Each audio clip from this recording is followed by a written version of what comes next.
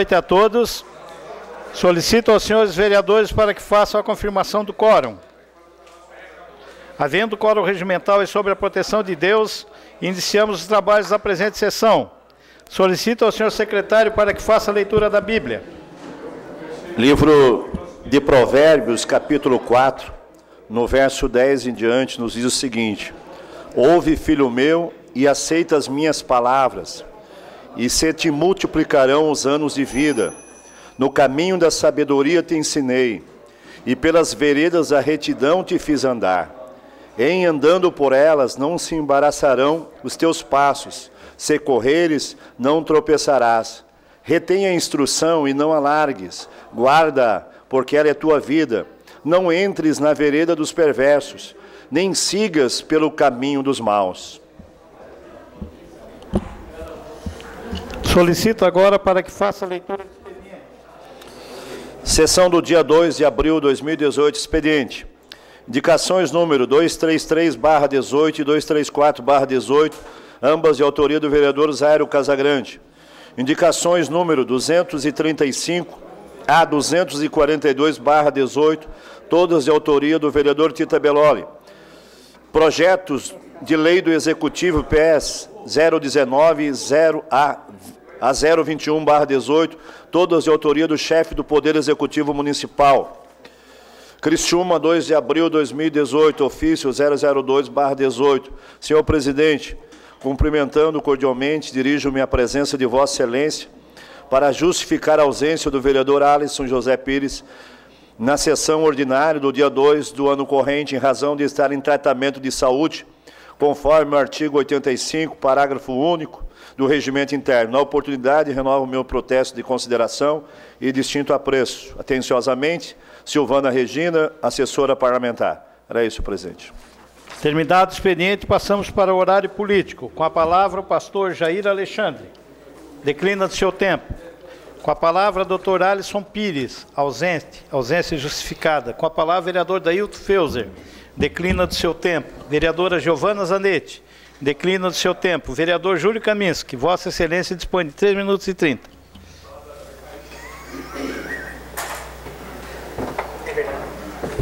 Senhor presidente, demais membros da mesa, vereadoras, vereadoras, todos que nos ouvem, todos que nos acompanham através das redes sociais.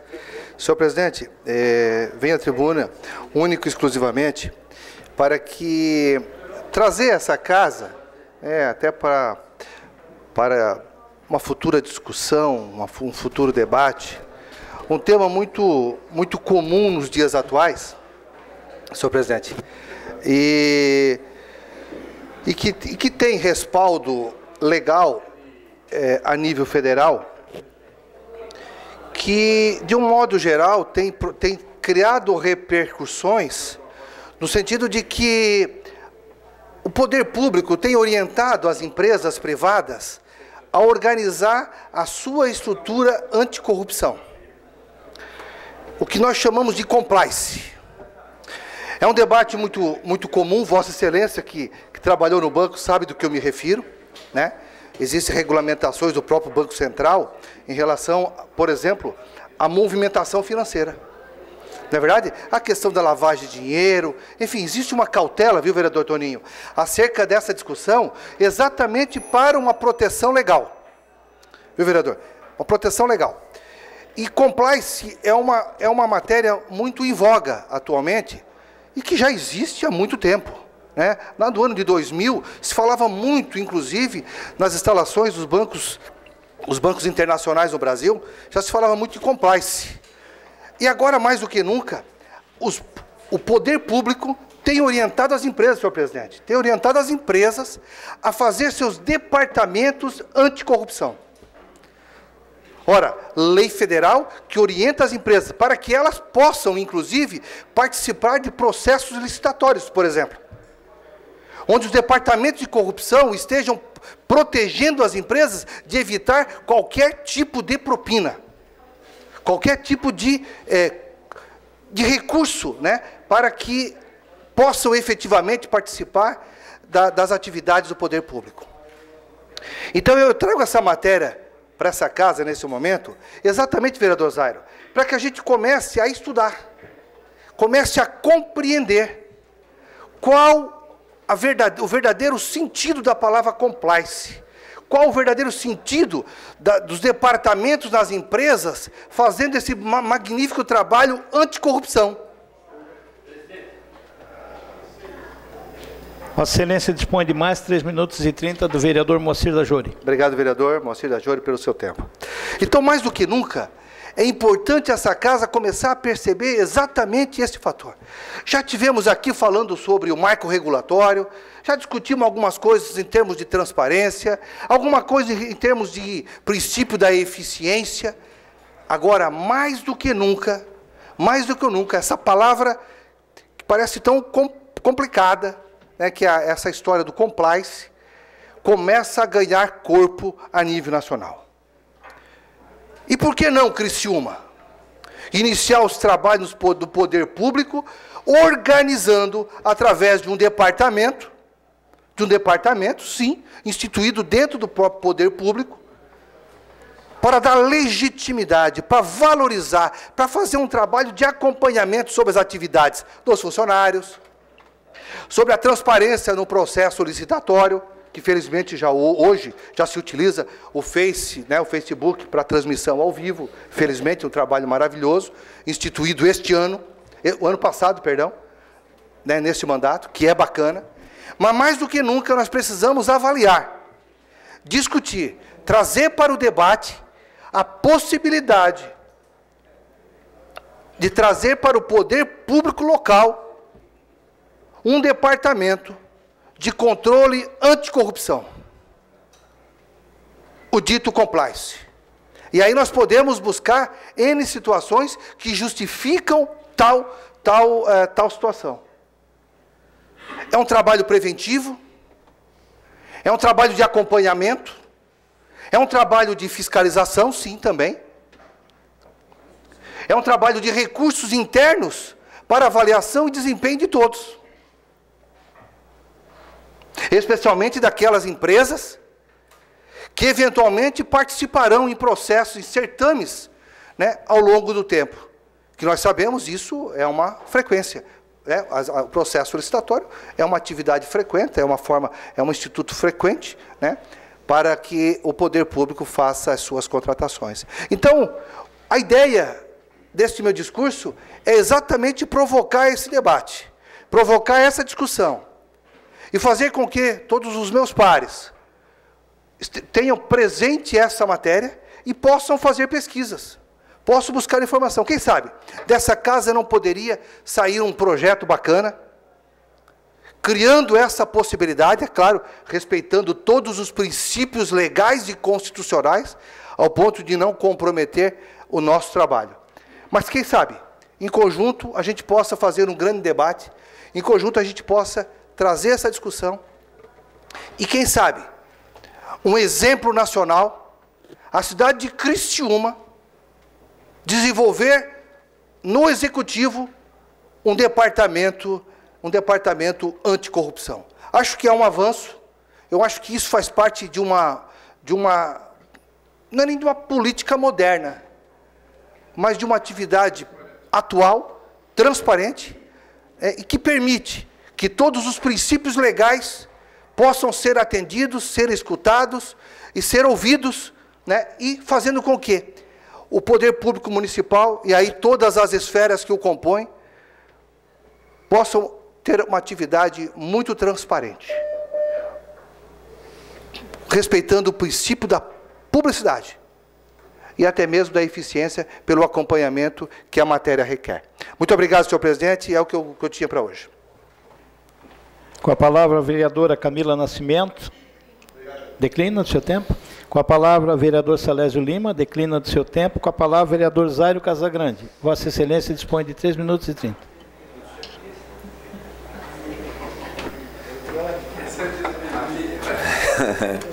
que um minuto longo, né? Boa noite, senhor presidente, membros da mesa, vereadores e vereadoras e o público que nos assiste, nos dá a honra da sua presença aqui. Eu tenho que prestar contas da audiência pública que nós fizemos quarta-feira passada, é, que alterou o nome do bairro Primeira Linha Sangão para Primeira Linha Pontilhão. Havia um, uma queixa muito grande que muitas pessoas às vezes e um evento naquele bairro e, aca e acabavam indo para o Sangão. Outros ficavam na primeira linha e não achavam o endereço, não achavam o evento. Então, de certa maneira, fica resolvida essa confusão que havia tanto nos endereços quanto eventos que se realizavam lá. É, eu gostaria de agradecer a presença dos vereadores que lá estiveram, né? É, polêmica é normal, né? Audiência sem polêmica não, não foi audiência, né? Então eu gostaria de convidá-los todos agora para a próxima quarta-feira, 4 de abril, para a audiência que irá discutir a alteração do perímetro do bairro Pinheirinho.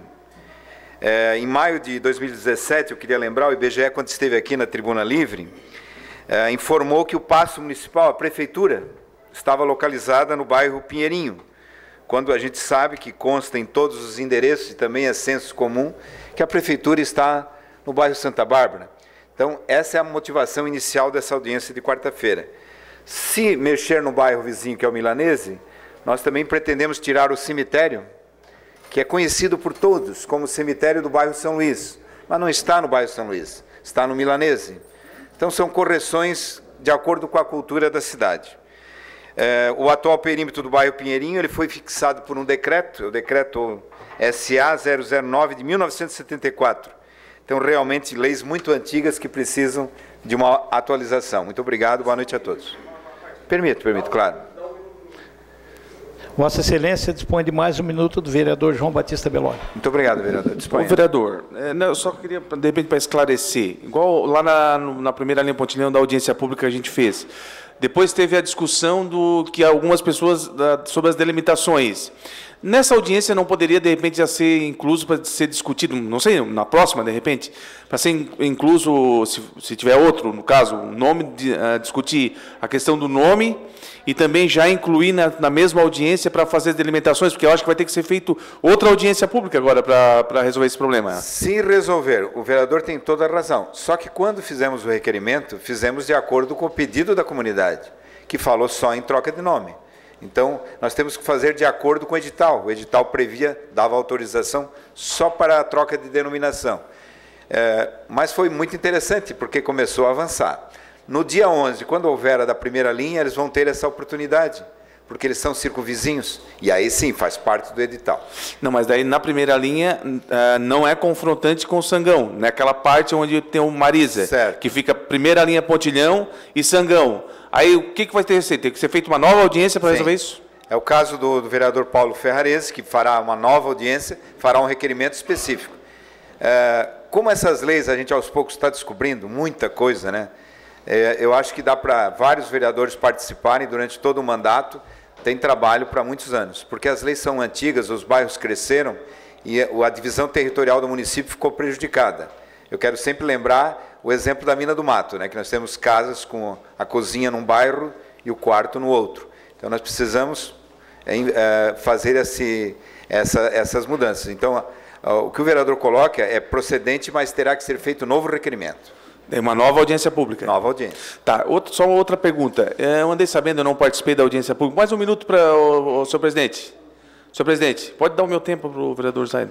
Vereador Zaire, Vossa Excelência dispõe de mais dois minutos. É, teve audiência pública lá no Morro Albino? Sim, tem. Tá, no Morro Albino. Parece que teve uma, uma, uma, uma situação lá que eu andei sabendo, Sim. que eles queriam avançar para cima do bairro, Pinhe, do bairro Verdinho, só que o bairro Verdinho não estava presente na audiência pública. Aí, o que, que vai acontecer? Eu andei sabendo dentro da prefeitura que a prefeitura não vai fazer essa mudança, Sim. porque o pessoal do Verdinho não quer, não aceita fazer. E eles não participaram. E como é que vai ser feito dessa forma?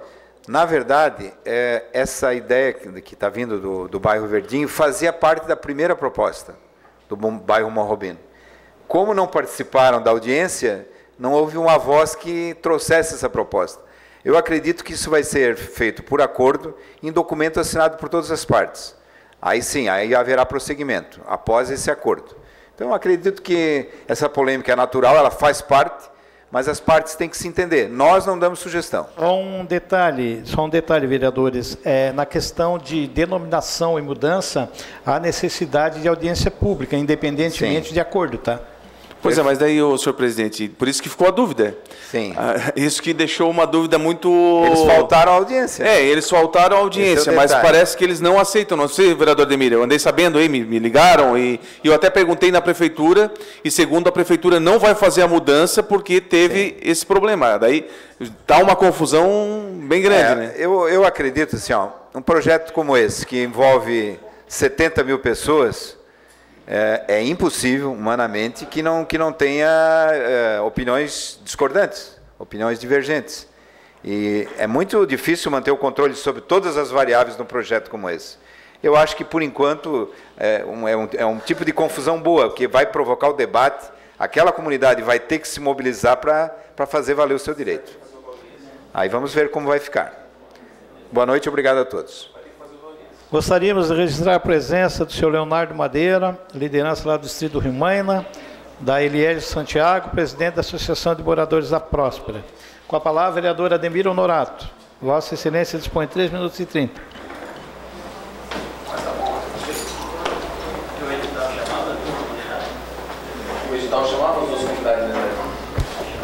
Boa noite, senhor presidente, membros da mesa, vereadores e vereadoras, público nos assiste. Quero mandar aqui um abraço ao nosso presidente do Conseg, nossa região agrícola, lá da Grande Quartalinha, o senhor Reni Ren, né, parceiro todas as horas, há muito tempo trabalhando nessa, como voluntário nessa parte, na rede de vizinhos, na, no ponto base e tudo mais. Parabéns. E o Leonardo Madeira também, que eu vi agora há pouco andando aqui. É, eu, eu até venho falar um pouquinho eu tinha prometido para mim que nos dois meses eu não ia mais falar de estrada, não ia mais falar de buraco, não ia mais falar de areão. É, mas eu até comentei, eu vou fazer um pedido para a nossa líder do governo aqui, para pedir para o prefeito fazer uma, uma bela de uma licitação, para nos comprar um areão à vontade. Porque nós temos mais de 700, 800 quilômetros de estrada de chão na nossa, em toda a Criciúma, né? E não dá para benzer, nós temos que botar uma camada boa, fazer aquela, aquele belo trabalho, porque assim, está complicado. É, choveu um pouquinho, como todos sabem, e no Facebook e tudo mais, o pessoal cobra da gente. Né? Eu até alguns eu falei assim, olha, eu sou vereador, mas eu não sou secretário, eu não, eu não, não posso mandar. Quem pode mandar é só o vereador que é secretário. E o prefeito, logicamente, que é ele que tem a chave do cofre na mão, né? Então, vereadora, líder, leve esse pedido para que realmente faça, de fato, um belo pedido para a gente pegar e fazer realmente, né? Eu só agradeço. E também sobre agora, um pouquinho sobre esses, os projetos, nomeação de bairros e coisa e tal, pertencente ao nosso amigo Zaire aqui. É, isso era um trabalho que talvez ia demorar uns dois anos. Nós vamos ver esse mandato e o próximo mandato ainda não vamos conseguir. Vai ser lei em cima de lei, vai dar no mínimo ao todo entre lei, projeto de lei e re, refeito a lei mais ou menos mais 150 vezes. Desses 30 e poucos bairros eu garanto vai dar mais ou menos mais 150 modificação de lei aqui nessa casa, que teria que ser feito o trabalho, ah, como ele falou tinha etapas, é, começou do final para o início. Então a casa se constrói da base, de baixo para cima, que era o trabalho perfeito do CDM, que era fazer todo o levantamento com os bairros, fazer aquelas as reuniões, tu não consegue comprar um terreno e realmente eh, botar no teu nome, se tu não falar com os confrontantes, com os teus vizinhos, não, é o marco é lá, é lá e tal, e, e fazer aquela projeção, entende? Um crescente de discussão. E no final, para pegar e presentear tudo isso sim com a lei. Então, assim, o carro foi colocado na frente dos bois, agora, infelizmente, va- vamos amargar muito, vamos amargar muito.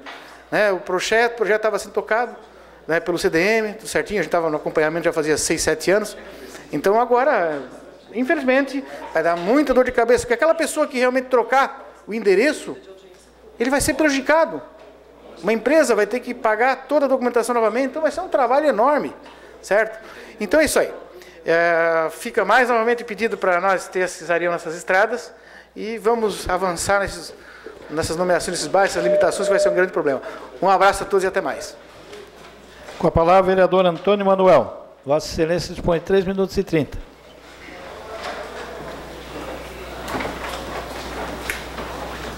Senhor presidente, senhores vereadores, vereadoras, demais pessoas que nos acompanham nessa casa. A minha vinda a essa tribuna, senhor presidente, vai na mesma linha do vereador Ademir. É, estive visitando o bairro Recanto Verde e o Jardim Morro Estevam, semana que passou. E observei lá que não é só o bairro Vila Rica, não. É, a cidade inteira está toda emburacada, vereador Fiose. E lá, uma vergonha, não tem uma máquina que passe tal. Mais uma vez eu conversei com o Verseli Cural, ele, pelo que eu vi, ele é uma pessoa que tem boa vontade, mas ele está desamparado em termos de condições de trabalho, porque hoje, para vocês terem uma ideia, nós temos a usina de asfalto que nós aprovamos nesta casa, mas hoje o prefeito só está fazendo aquelas ruas que nós conseguimos emendas com nossos deputados.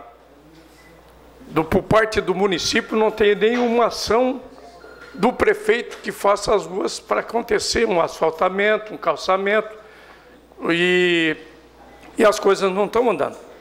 E, por incrível que pareça, nós temos três máquinas e só duas funcionando, vereador Jário. E os bairros nossos hoje, tu veja quantas, 700 e poucas ruas que não estão pavimentadas e os bairros estão abandonados. Eu me surpreendi no sábado retrasado, que eu estive lá no bairro, lá no Jardim Buenos Aires, tinha uma máquina trabalhando, num, domingo, num sábado, e eu perguntei para o... Vocês vão fazer todo o bairro? Não, só vamos fazer a ronda e passa o ônibus. E o resto? As pessoas querem chegar nas suas residências, as pessoas que, travegam, que tra, trafegam durante todo o tempo dentro dos seus bairros, andando cheio, nas ruas cheias de buraco. É uma vergonha. Ali no Jardim Morro Estevo mesmo, estive ali com o ex-presidente Anísio, dando uma olhada lá, que ele me convidou para dar um chego lá, e eu vi lá as ruas realmente merece uma atenção, porque realmente não está bem lá. Da mesma forma que não está Vila Rica, não está Linha Anta, assim, eles estão fazendo a Rua dos Ônibus, mas estão esquecendo o resto da população. O que tem que fazer? O prefeito não vai conseguir atingir a meta dele. As pessoas que vão esperar asfalto de calçamento não vai acontecer, vereador Jânio. Então ele tem que providenciar mais máquina e mais arião, que conforme disse o vereador Ademir, material consistente para se colocar nas ruas, pelo menos para dar condições para as pessoas que moram no bairro, as pessoas que vão lá no, no, nos bairros lá, ter uma condição melhor de acessar as ruas, porque realmente não tem condições. Concedo uma parte, vereador. É, na verdade, a questão das ruas é, teve a grande, agora teve a questão das chuvas e é normal que as chuvas trazem os buracos nas ruas.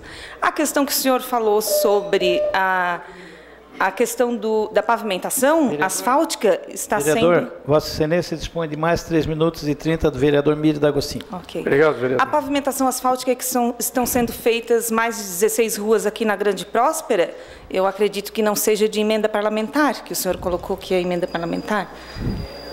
As ruas que estão sendo feitas na Grande Próspera foram liberadas pelo governo do Estado para fazer em paralelo a, a via rápida, que foi concluída há pouco tempo. Então, foi o governo do estado que mandou as, o dinheiro e é por isso que está sendo feito todas as lá. O vereador Moacir é testemunha disso e que está acompanhando esse trabalho. Parte, pois não, vereador. É, eu também acompanho na mesma linha, porque a gente tem visitado os bairros e tem apanhado muito virtude.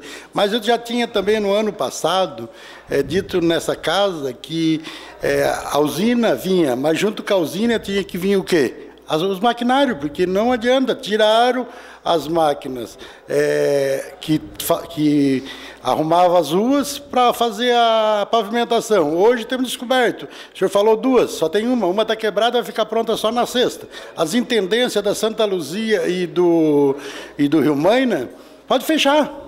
Pode fechar, porque não tem mais nada. Então, a da quarta linha eu não posso falar porque não tenho ido lá, mas as duas que eu tenho ido direto estão é, com problema. Então, as intendências, ou o prefeito coloca a máquina para podermos é, mantermos pelo menos a, a, as ruas trafegáveis, porque estão intrafegáveis. Nós da casa temos apanhado porque acham que nós temos máquina, mas precisamos urgente de uma coisa material, porque as ruas estão intransitáveis. Obrigado, vereador. Só um, aproveitando a oportunidade, é, primeiro parabenizar o vereador Dailton Feuza, que está de aniversário hoje, e dizer que essa casa já tomou a iniciativa de reunir-se com o prefeito municipal, todos os vereadores, e solicitamos ao prefeito municipal que adquirisse máquinas novas.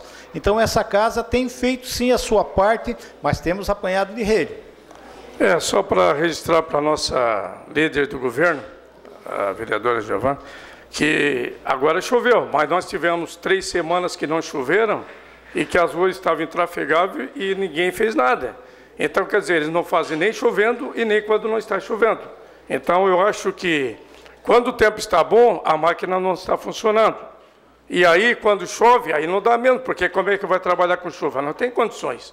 Então, eu quero só deixar registrado, mais uma vez, que aquelas ruas do Nossa Senhora da Salete, a Prefeitura fez em parceria com o governo do Estado de Santa Catarina. Então, e outra coisa, nós sabemos que estão fazendo, meus parabéns, porque está sendo feito, mas os demais bairros, vai terminar o mandato e não vai ser concluído, é igual a UPA da Próspera, começou em 1900 e, em 2009 e até agora não foi concluída. Com a palavra, o vereador José Paulo Ferrarese. Vossa Excelência dispõe de 3 minutos e 30.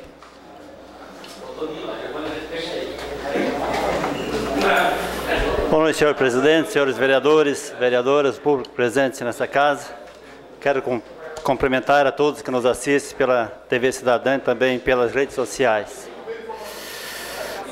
Senhor presidente, senhores vereadores, quem sabe teríamos uma solução para contratar mais funcionários na Intendência Santa Luzia, na Intendência do Rimânia, na verdade, quem sabe em todas as intendências também.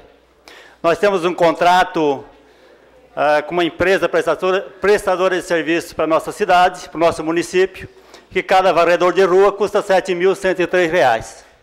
Enquanto uh, fomos atrás de informações em vários setores de empresas do Estado, isso o custo mínimo é R$ 3.800 por um, por um servidor baseado com o mesmo nível. Então, poderia sim diminuir uh, em torno de 100% o valor desses funcionários e contratar mais 65 funcionários hoje que tem uma empresa prestando serviço uh, para o município que, que tem 65 funcionários. Essa é uma situação, senhores vereadores, da nossa região, bairro Progresso, bairro Vila Esperança, Vila Manaus, a situação que nós encontramos nesse fim de semana com aquela chuva, e é uma situação de calamidade e reconheço que o prefeito comprou uma máquina para resolver algumas situações de, de rios, mas precisamos uma limpeza nessas bocas de lobos de imediato. Sei que a população às vezes está, está devendo, também contribui para essas, essas cheias, mas precisamos. Ah, nós temos intendência da, da, lá do Rio Mânia com 13 funcionários, com intendente, sem uma patrola, a patrola está na oficina, só daqui 10 dias que essa patrola vai ser entregue novamente para fazer o patrulhamento. Então está difícil. O prefeito tem que investir sim em arião, equipamentos, porque não dá para a população ficar dessa, dessa maneira. E, e, e também colocar o número necessário de pessoas para atender nossas comunidades. Eu fico triste porque lá nós encontramos essas pessoas perdendo seus móveis, os seus pertences para essas cheias. Cedo parte, vereador. O vereador, aproveitando a oportunidade, porque agora para fazer a limpeza dos rios tem que ter a licença ambiental, né, para poder estar tá fazendo. Mas eu acho que agora, como é uma situação grave de emergência, acho que pode ser através da Defesa Civil. Fica uma sugestão. De repente, é, levar essas fotos já para fazer autorização para fazer uma limpeza imediata dos rios. Obrigado, vereador. Sim. Com certeza há uma necessidade Principalmente, claro que as cheias tem que evitar em todos os bairros da nossa cidade, mas estamos olhando aí que é bairros carentes, bairros que realmente as pessoas dependem de viver sobre um salário mínimo ou em situação muito difícil. Então esperamos que o prefeito vereador, municipal. Vossa Excelência dispõe de mais 3 minutos e 30 desse vereador. Obrigado, vereador Júlio. Questão de ordem. Cedo a parte, vereador. Fala a parte, desculpa. Cedo a parte, vereador. Sério a parte para mim? Sério a parte, vereador. Uh, você bem colocou sobre o, o, fato dos contratos ali que custam R$ 32,29 a hora da, da, do trabalhador, que custam R$ 7.150 por mês. Esse contrato ele está terminando agora em abril. Em abril. Foram feitos vários é, re, aditivos, certo? E ele termina agora em abril. Portanto, é, com certeza vai ter que haver, vereador, um novo, uma nova licitação agora em abril. É, eu acredito que nessa casa nós vamos ter que ficar bem de olho para realmente fazer o que você falou, que dá para baixar 100% dá, porque tem empresas públicas, 50% da metade, até menos. Tem empresas públicas que pagam de 2.700 a 3.500 a mais cara, conforme a gente já levantou, né? Verdade. Então varia de 2.700 a 3.500 as mais caras. Então, ou seja, por que, que o seu município, nós temos uma falta de dinheiro, está tão complicado a situação, vereadores, e por que, que o nosso município tem que pagar tão caro assim? E por que aditivar? Por que, que já não chama para licitação, que com certeza tem mais empresas por aí querendo prestar esse serviço, certo? Ou então, qualquer uma outra empresa com 10 funcionários vai ganhar 50 mil reais por mês para prestar um serviço desse, né? Que também é digno é trabalho. Mas então assim, ó, como termina o contrato agora em abril, resta a gente ficar de olho e cuidar. Muito obrigado. Verdade, vereador. Obrigado pela contribuição. Quando foi inaugurado o setor de licitação lá na prefeitura Vereador da Paulo, próxima... Vossa Excelência dispõe de mais 3 minutos e 30 do vereador Odinei Potelec. Obrigado, vereador. Só para contribuir, vereador, quando foi inaugurado o setor, a nova forma de licitação lá na Próspera, na Prefeitura da Próspera, o prefeito chamou todas as secretarias e informou a todos os vereadores que tinha, teria 250 pro, ah, contratos a ser revistos. Ia chamar a Câmara de Vereadores, todos os setores, FOCRI e Observatório Social, para analisar esses, esses contratos. Então, esperamos que o prefeito chame quanto antes o vereador Caminhos, que citou agora, de criar um conselho para analisar, para tentar diminuir custos para o município. Então, esperamos que o prefeito chame de imediato. Você é da parte, vereador. Da parte, vereador. O vereador Tita Beloli falou acerca da limpeza dos rios. Realmente precisa da licença ambiental, mas nós temos aí casos, como aconteceu, por exemplo, lá no São Sebastião, que é problema nas bocas de lobo. E boca de lobo é, precisa fazer a limpeza das bocas de lobo. E aí, para isso, precisa de pessoal. O vereador Ademir falou acerca é, do pessoal que vai rua. É, eu não sei se a empresa, a mesma empresa que contratou esse pessoal, que fez a licitação para ser varredor de rua, poderia estar prestando esse serviço de limpeza de boca de ovo, de, de, de desentupir. Tem mais isso também que nós temos que ficar de olho. Que o importante é, nós não, não só nesse, nessa região aí, Vossa Excelência, toda a cidade de Criciúma, na região lá do Sangão também existem algumas bocas de lobo lá, que já foi solicitado por esse vereador, inclusive, para limpeza, né, para que se fosse, fizesse a limpeza, para que se desobstruísse as bocas de lobo, é, é, porque às vezes não é só a boca de lobo, a própria tubulação toda já está é, comprometida, já está entupida. Então, quer dizer, precisa fazer realmente uma faxina geral na cidade de Criciúma, no modo, num, num todo, a fim de dar melhor qualidade de vida para a nossa população. Obrigado, vereador. Aqui por essa casa, nós aprovamos a compra de quatro caminhonetes, queria se fazer, uh, montar quatro equipes para fazer a colocação de lajota na nossa cidade. E até hoje, vereadores, nós não vimos, ouvimos muito pouco, muita pouca produção desse, dessas quatro equipes para recolocar a lajota na nossa cidade. Eu vejo sim o meu bairro sucateado, jogado, não só o meu bairro, todos os bairros de Criciúma, aonde tiver lajota está jogado, não aparece sequer uma equipe. Lá na, na, no São Sebastião, que pena na, no, loteamento, no loteamento Elisa, bairro São Sebastião, a rua Liberato Rocha, meu Deus, essa equipe foi para lá uma vez, foi duas, foi três e não se faz nada, não acontece nada. Ah, se solicita para secretário o que está acontecendo, ah, eles não dão produção. Se não dão produção, tira esses funcionários, manda embora, contrata funcionários que queiram trabalhar. Ô, vereador, parte, vereador. É, eu gostaria de dizer que o custo de uma oficina, de uma patrola, é 30, 40 e às vezes 50 mil reais. E outra coisa, vai ficar cada vez mais difícil, porque agora nem os vereadores, nem os assessores dos vereadores conseguem falar com a secretária de obras. Há uma determinação estranha, que eu vou me certificar, de que os nossos assessores não vão mais ser atendidos pela Secretaria de Obras. Ora, nós já temos assessores, é para isso, é para ajudar a população nesse sentido. Então, é, percebe-se que o conjunto da obra ele está de ponto contra aquilo que o município tem que fazer, que é atender bem o cidadão. Ora, o setor público existe é para isso, é para atender o cidadão. Não é para colocar restrição ao atendimento ao cidadão. Então, eu vou, em nome de todos os vereadores, eu vou, vou me dirigir ao prefeito municipal amanhã para saber da onde partiu essa determinação de que os nossos assessores não serão atendidos ah, pela Secretaria de Obras. Obrigado. Obrigado, vereador, pela contribuição. Então, em, nesses dias também, vereadores, o caminhão multiuso não tinha licitação. E várias bocas de lobos na nossa cidade retornando esgoto, porque na verdade a nossa sociedade joga o esgoto na, na rede pluvial, retornando, invadindo suas casas e sem contrato nessa época do ano, fica difícil, só para contribuir. Obrigado, vereador. Com jogo rápido também.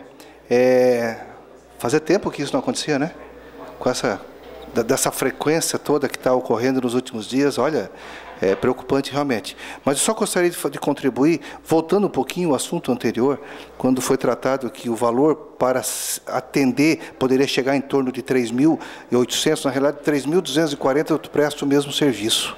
Né? Vamos ficar atentos sim, vereador Ademir, porque é claro que não são essas pessoas que irão fazer, mas a redução dos valores abriria uma oportunidade de contratações que poderia contribuir certamente com esse serviço, pagando praticamente 50% a menos do que se contribui hoje. Aliás, empresa que aparentemente não solucionou o problema da, do, dos, dos roubos ocorridos, a restituição, os BOs ocorridos, que torna impossibilitada de continuar trabalhando no processo licitatório. Obrigado. Senhor. Também é um dos problemas da nossa cidade. Obrigado, vereadores, pelo tempo que nos concederam.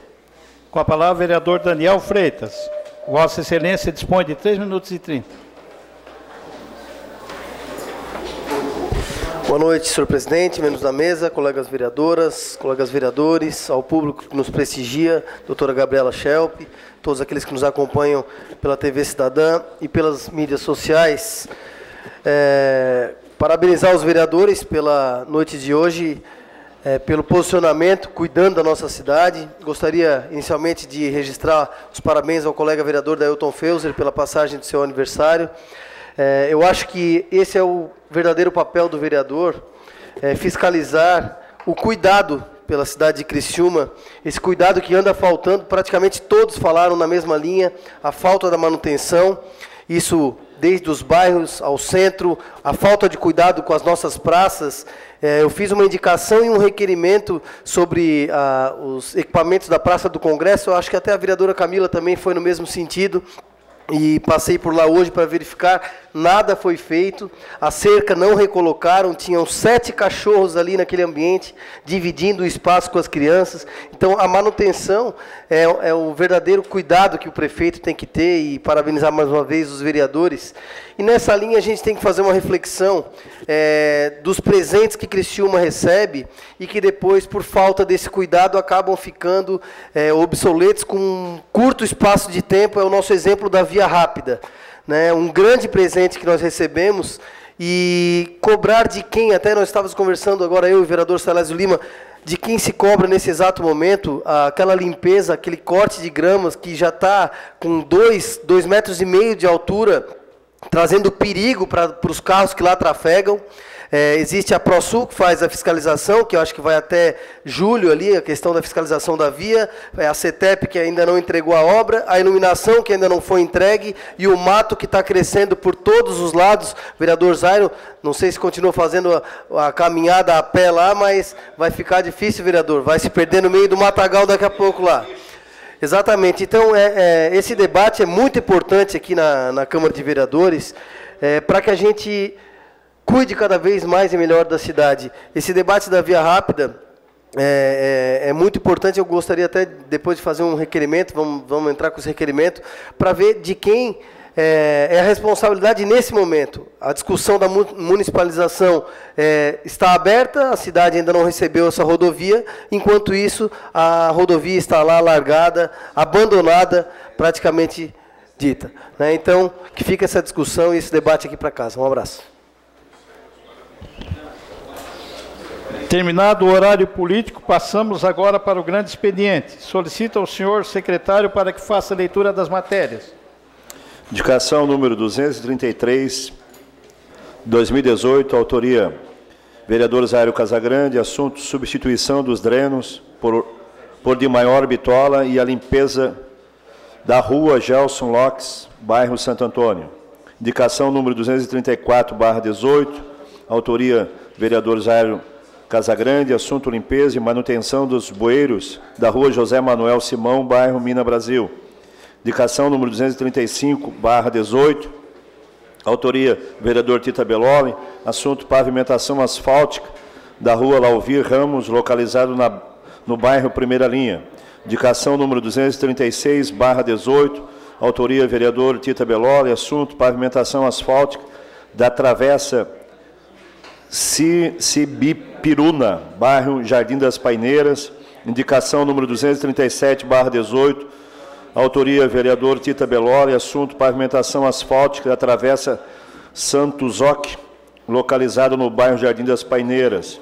Indicação número 238, barra 18. Autoria, vereador Tita Belori. Assunto, pavimentação asfáltica da travessa Jacarandá, bairro Jardim das Paineiras. Indicação número 239, barra 18. Autoria, vereador Tita Belori. Assunto, pavimentação asfáltica da travessa Lírio da Paz, bairro São João. Indicação número 240 barra 18, autoria vereador Tita Belori, assunto pavimentação asfáltica da Travessa Flores do Campo, localizado no bairro São João. Indicação número 241, 241 barra 18, autoria vereador Tita Belori, assunto pavimentação asfáltica da rua Flor de Lótus, bairro São João. Indicação número 242 barra 18, autoria vereador Tita Belori, assunto patrulhamento e colocação de material adequado nas margens da rodovia Luiz Rosso, próximo ao anel de contorno viário, de frente ao motel Passione, bairro Primeira, Primeira Linha. Terminado o grande expediente, passamos para a ordem do dia. Solicito aos senhores vereadores para que façam a confirmação do quórum.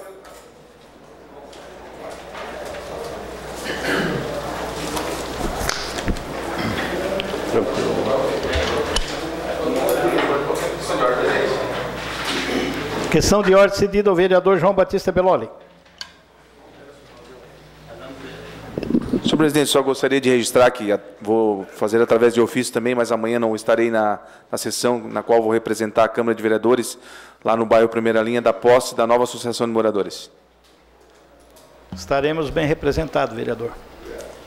Em única discussão e votação, o projeto de lei do Executivo PE número 05/18, encaminhado pelo prefeito municipal, que autoriza o Poder Executivo a proceder conforme disposto na linha B do inciso 2 do parágrafo 2 do artigo 101 do ato das disposições constitucionais transitórias da Constituição Federal e da outras providências. Este projeto, ele autoriza o município a utilizar até 10% do saldo de depósitos judiciais vinculados à, à comarca e a quitar este financiamento no prazo de 10 anos. É, maiores informações é, no www.câmaracriciúma.sc.gov.br no link Processo Legislativo. A Comissão de Justiça e Redação opinou pela legalidade e constitucionalidade. A Comissão de Obras, bem como a de Educação e Fiscalização, opinaram pela aprovação, encaminhando a deliberação do plenário. Está em discussão o projeto. Não havendo quem queira discutir, está em votação. Votação liberada.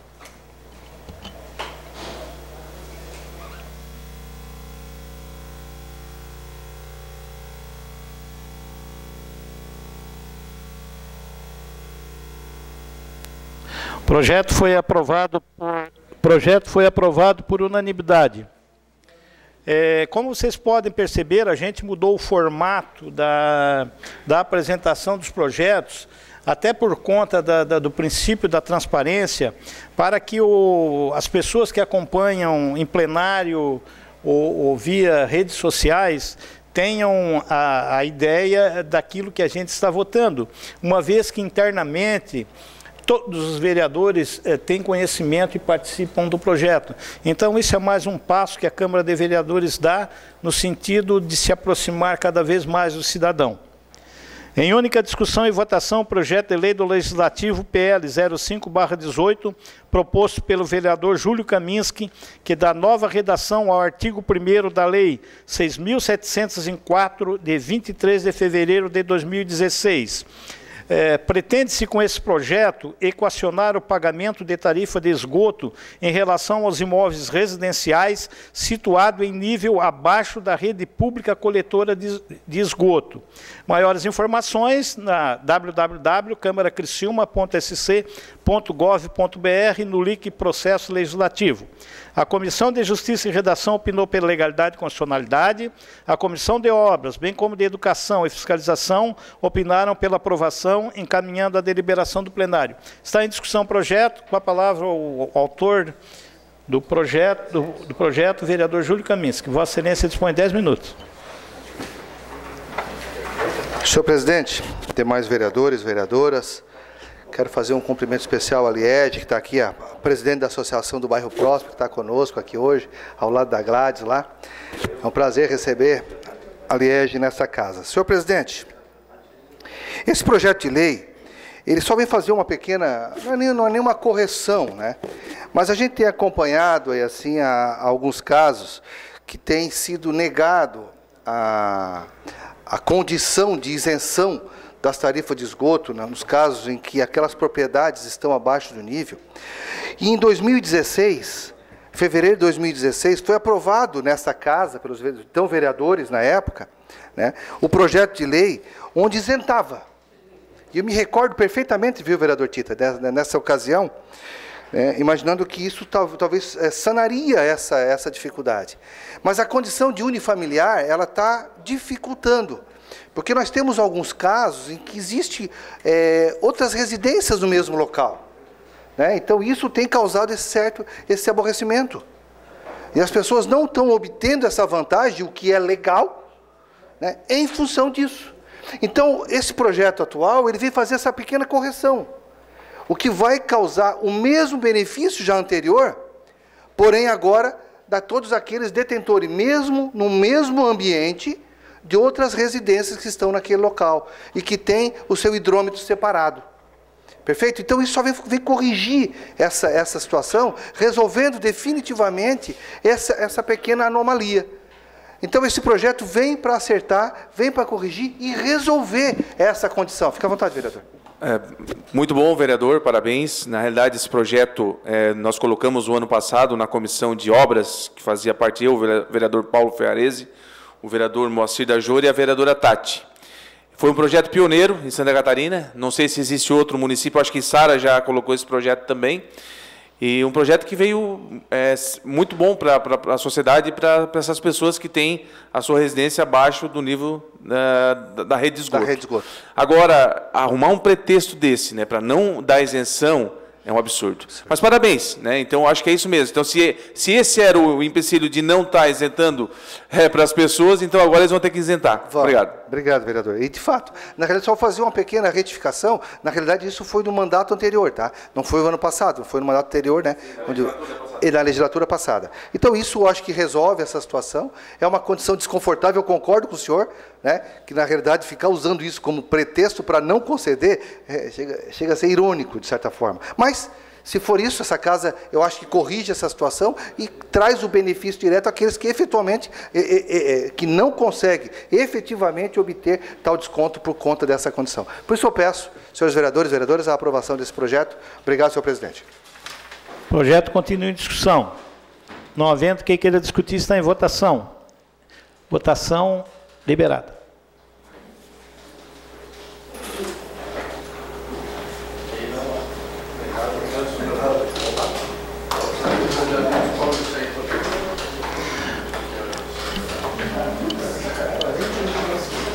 O projeto foi aprovado por unanimidade. Ordem do dia da próxima sessão, PE 011-18.